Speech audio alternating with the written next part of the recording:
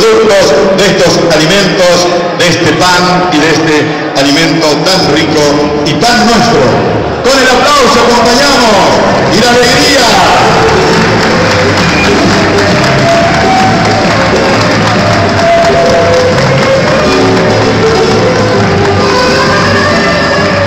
Se ha hecho experto el intendente por lo que veo, ¿eh? Sí, sí, sí, sí, está bien, va bien, va bien. El tema del salame es una cuestión ya, ¿eh?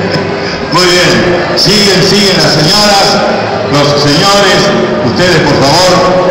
La fiesta está en marcha entonces, con orgullo, color y la canola.